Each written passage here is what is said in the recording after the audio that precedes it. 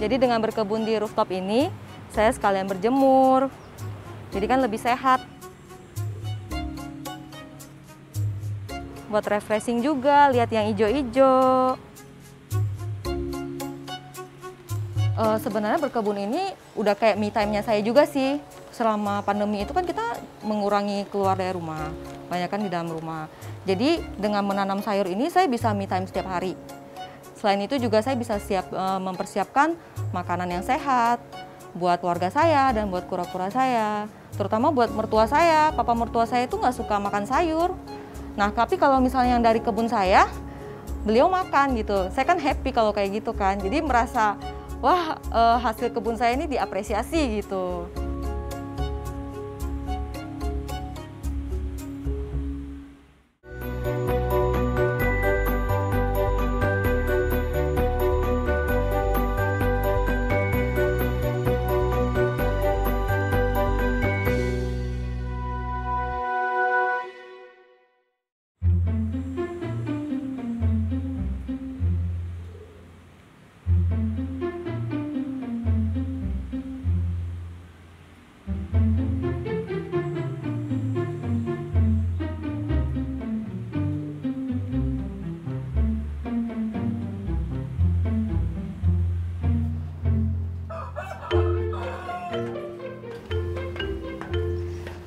Selamat pagi.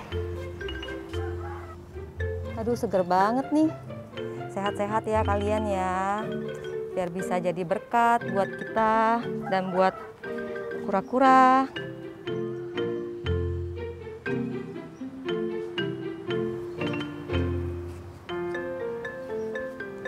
Seger nih ya, kemarin habis hujan sorenya.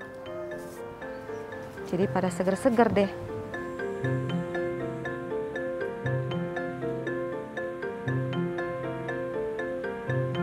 Ini kebun rooftop saya. Ukurannya nggak besar, cuma 6 meter kali 2 meter. Tapi lumayan ya, bisa banyak eh, jenis-jenis sayuran di sini. Dan saya juga manfaatin lahan terbatas ini ya dengan disiasatinnya pakai kayak pot talang air kayak gini. Kalau sayur-sayuran kan nggak usah pot yang terlalu besar. Jadi kayak gini aja mereka udah happy. Nih buktinya sayur-sayurnya pada seger-seger semua. Tuh. Nah kalau daun bawang sama seledri ini kan emang tanaman wajib.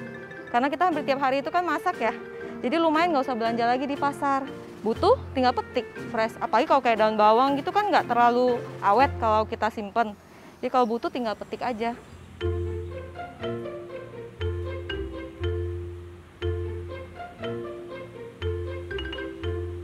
Jadi kalau di sini saya tanamnya secara organik sama uh, hidroponik. Hidroponik yang saya pakai itu sistem wick. Jadi sistem sumbu. Jadi kayak gini nih. Saya pakai styrofoam bekas buah, saya lubangin kayak gini. Uh, dilubangin 8 lubang tanam tiap satu styrofoamnya. Terus ininya saya alasin. Ini bisa dilapisin dengan terpal atau bisa juga dengan plastik mulsa. Habis itu kita isi air dengan nutrisinya. Ya udah kayak gini aja, sederhana. Lebih ekonomis tapi hasilnya nggak kalah juga dengan instalasi hidroponik yang lainnya.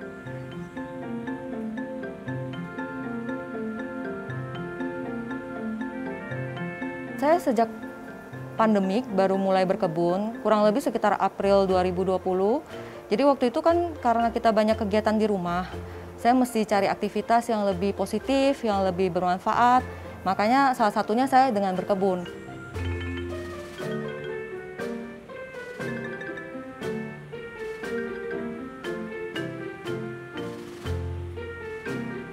Jadi dengan berkebun di rooftop ini, saya sekalian berjemur. Jadi kan lebih sehat. Buat refreshing juga, lihat yang hijau-hijau. Jadi kalau capek, liatin aja yang hijau-hijau, hilang deh capeknya. Saya punya dua kebun. Yang pertama di rooftop, saya tanamnya secara hidroponik dengan sistem wick sama organik. Kalau yang balkon depan itu saya tanam secara hidroponik dengan sistemnya uh, rakit apung sama uh, Dutch bucket. Nah kebanyakan sih memang mayoritas yang saya tanam itu sayuran ya, karena uh, memang kebutuhan sehari-hari kita banyak kan sayur. Dan untuk uh, konsumsi pribadi, saya bagi-bagi juga ke teman, ke saudara, ke tetangga, sama untuk peliharaan saya ada kura-kura. Ya, lebih sehat lah kalau hasil dari kebun sendiri udah pasti bebas dari pestisida ya kan.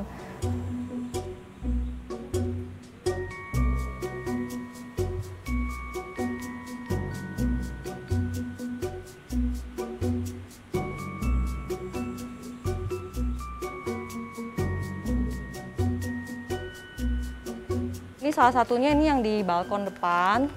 Saya pakai sistem rakit apung. Ini ukurannya 2,25 meter kali 1,8 meter dengan luang tanamnya 180. Jadi lumayan kan bisa nanam 180 tanaman. Nah, di sini saya tanamnya mungkin sekitar 3 6 10 jenis sayuran di sini.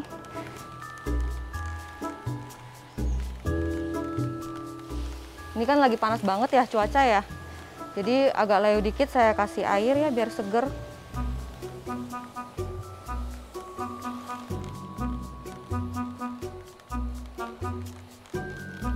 Dulu waktu kecil ya, paling saya suka ikut orang tua saya. orang tua saya kebetulan juga berkebun di rumah, jadi saya suka nimbrung, bantu-bantu siram-siram, tanam-tanam, panen, kayak gitu aja sih. Jadi di belakang rumah itu ada tanah kosong, jadi di situlah mereka berkebun, menanam buah, sayur, dan sampai sekarang pun orang tua saya masih berkebun di rumah. Berkebun secara organik, bukan hidroponik ya.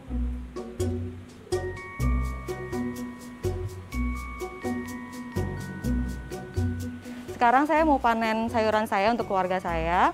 Enaknya gini nih, saya tinggal keluar dari balkon, udah bisa panen. Ikutin saya ya. Ini namanya uh, green butterhead. Nih, seger ya. Tuh, walaupun siang bolong tetap masih seger. Akarnya putih, bersih. Terus saya mau panen red oak leaf.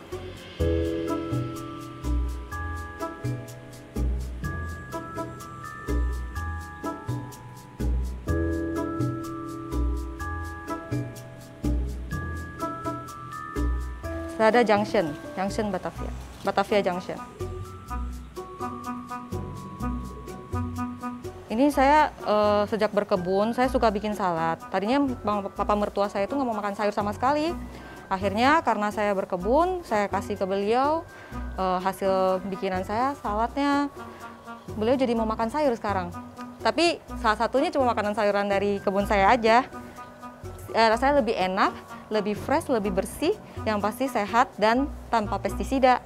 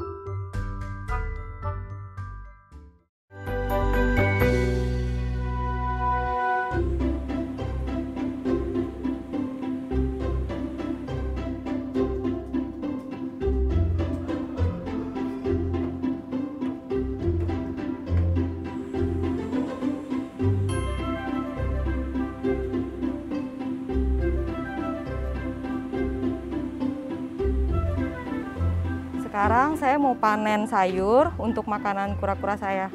Jadi saya tetap kasih uh, sayur yang terbaik untuk kura-kura saya. Kita panen ya.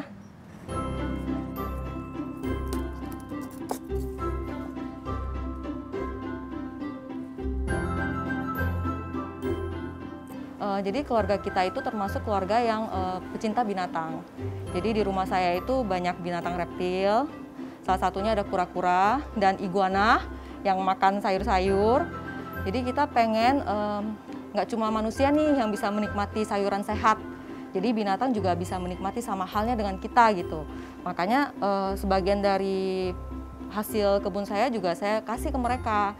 Jadi biar mereka merasakan enaknya sayur segar yang dipetik dari kebun gitu.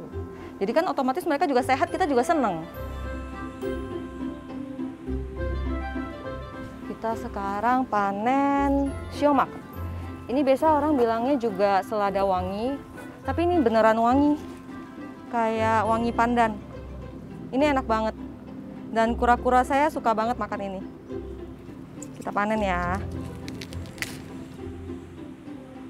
Wah, besar ya. Tuh. Pakai sistem wick aja bisa sebesar ini. Puas deh makannya kura-kuranya.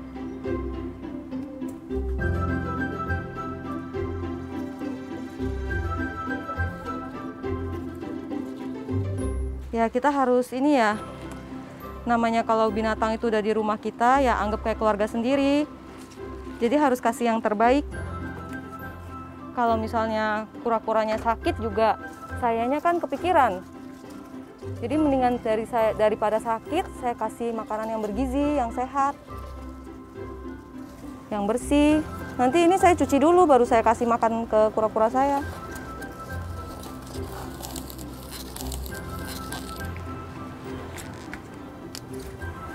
Sepertinya udah cukup ya buat kura-kuranya.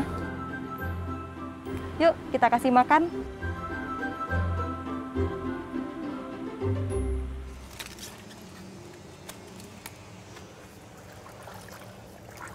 selama berkebun dua tahun ini saya nggak ada merasakan kendala yang terlalu gimana ya. Paling yang kayak serangan hama aja. Tapi menurut saya itu nggak apa-apa gitu. Namanya juga binatang kan mereka perlu makan juga.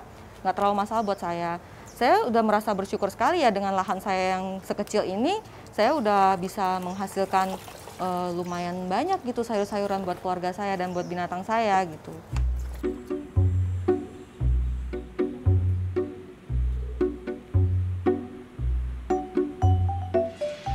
Ini kura-kura peliharaan saya. Um, ini ada cimol, ada rocky, ada cibol, ada bolot. Namanya suka-suka saya sih mau kasihnya apa. Ini blacky, terus ini prado, itu tengil karena dia dari kecil itu suka gangguin teman-temannya. Terus sama itu bocil. Ini jenis kura-kura darat uh, saya memperlakukan mereka seperti keluarga saya sendiri, jadi benar-benar menyayangi mereka. Saya juga kasih makan dari hasil kebun saya sendiri, jadi benar-benar fresh, benar-benar sehat. Terus saya juga uh, menjemur mereka tiap pagi, jadi ada baknya gitu, mereka jemur sambil berendam. Jadi kalau kita mau pelihara binatang, kita harus benar-benar menyayangi mereka seperti anak kita lah gitu ya. Jadi sebisa mungkin benar-benar kita urus, kita rawat, kita tanggung jawab dengan apa yang udah maksudnya kita beli gitu itu benar-benar udah jadi tanggung jawabnya kita gitu. Harus sayang dengan sepenuh hati.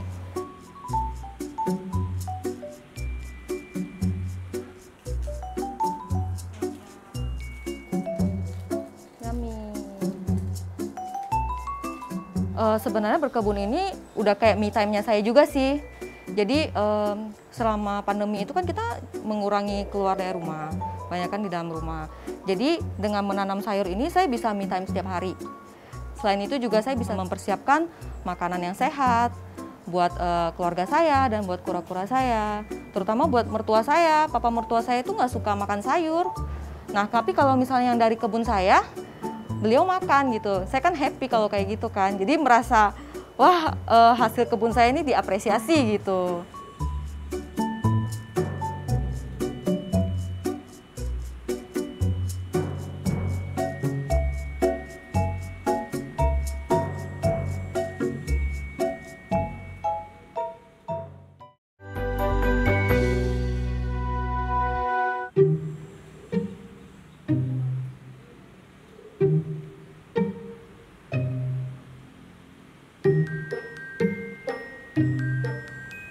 Di sini tempat saya untuk nanam hidroponik secara Dutch bucket.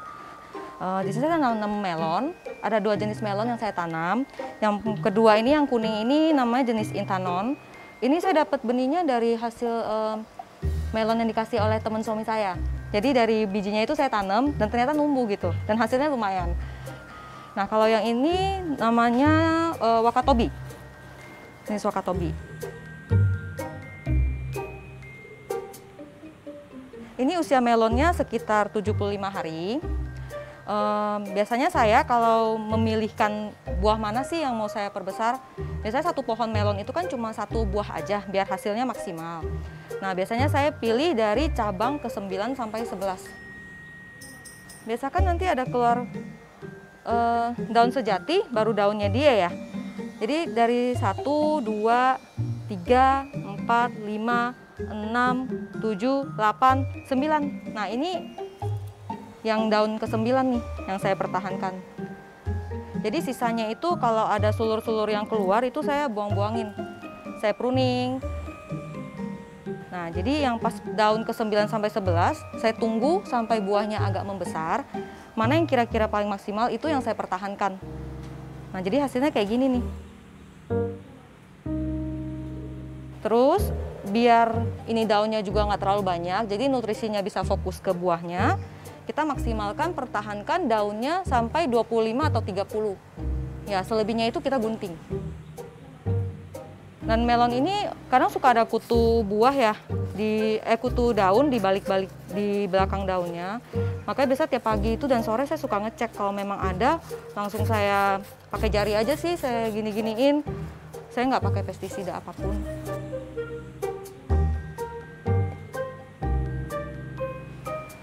Ini udah wangi banget nih. Walaupun pakai masker tetap masih kecium nih wanginya. Nah, kayak gini nih, ini udah 75 hari, udah waktunya panen. Daunnya udah coklat, terus ini udah mulai retak, dan yang pasti wanginya udah semerbak. Kita panen ya.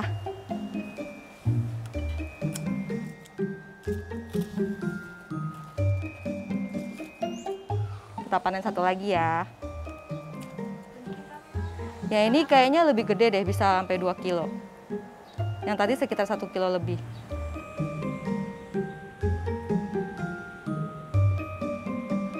Ini hasil panen hari ini untuk melon saya. Lumayan kan? Biasanya belinya di toko buah, sekarang bisa panen dari kebun sendiri. Dan fresh. Matang pohon.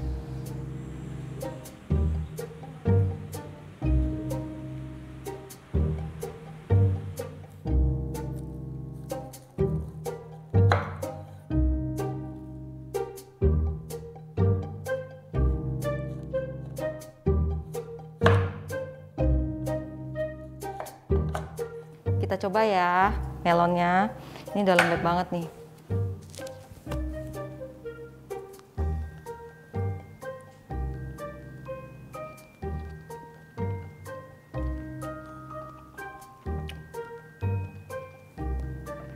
Manis banget, enak.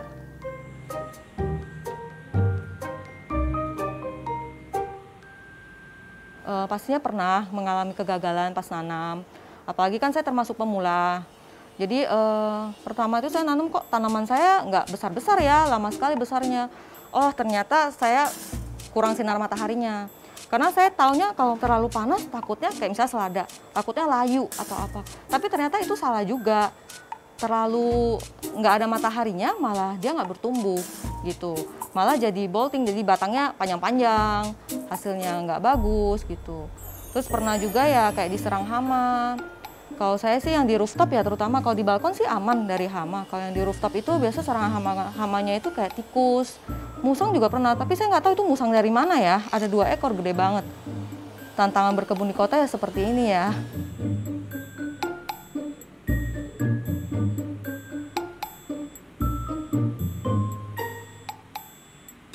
Sekarang saya mau kasih tahu cara saya gimana tanam bawang merah. Pertama kita siapin dulu bawang merah, kalau bisa bawang merah tunggal kayak gini.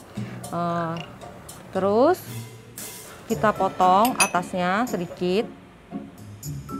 Ini untuk membantu lebih cepat untuk uh, tumbuh tunasnya. Itu. Ya, setelah itu saya kasih air sedikit.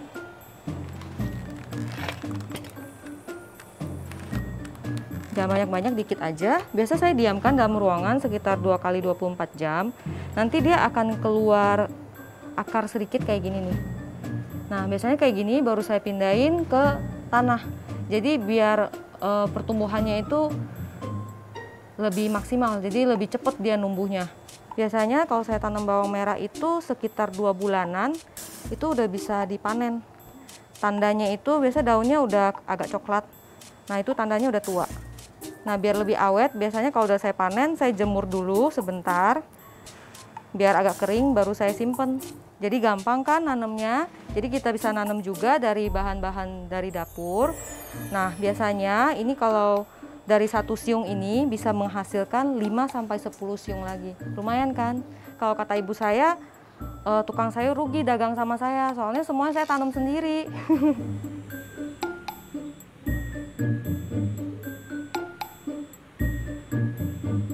Banyak ya manfaatnya ya.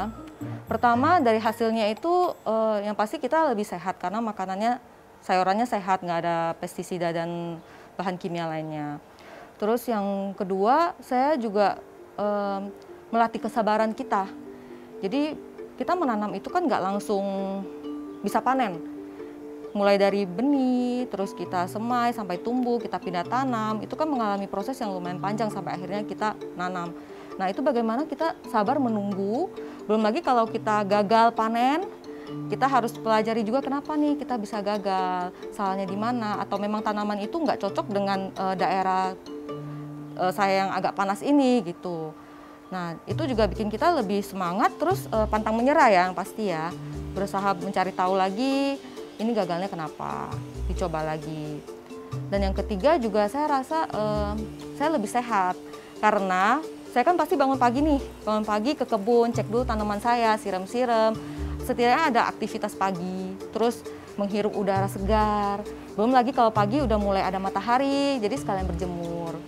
Jadi uh, saya bisa menyediakan uh, pangan yang sehat buat keluarga saya dan buat binatang peliharaan saya.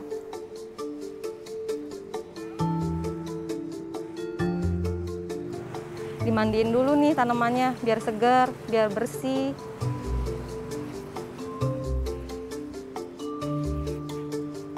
Biar tanamannya sehat, kita juga mesti jaga kebersihan kebun,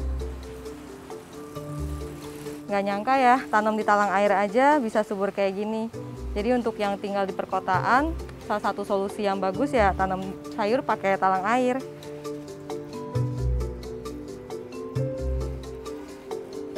Untuk teman-teman yang punya lahan terbatas seperti saya, uh, nggak usah berkecil hati. Kita tetap masih bisa menanam selama masih dapat matahari. Mungkin teman-teman bisa manfaatin balkon atau rooftop di rumah dan disesuaikan aja dengan lahan yang kita punya gitu. Misalnya kita terbatas uh, lahannya, ya udah tanam aja kayak sayur-sayuran. Mereka nggak perlu pot yang besar-besar. Kayak di talang air aja mereka udah bisa subur kok gitu. Dan e, menanam itu sangat menyenangkan. Apalagi kalau melihat saudara atau keluarga kita makan dengan hasil panen kita, dengan lahapnya, itu benar-benar suatu hal yang menyenangkan deh buat kita.